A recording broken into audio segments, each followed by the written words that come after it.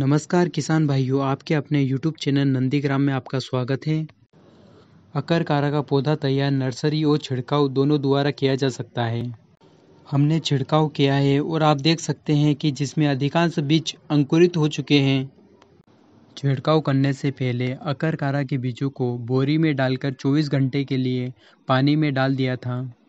फिर उसे निकालकर, उसे सुखाकर बीज और मिट्टी को मिलाकर छिड़काव किया गया।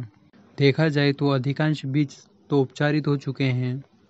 इसी प्रकार अकर करा की शुरुआत से अंत तक की संपूर्ण जानकारी आपके अपने चैनल पर दी जाएगी। किसान भाइयों, वीडियो को लाइक और चैनल को सब्सक्राइब कर दीजिए। धन्यवाद।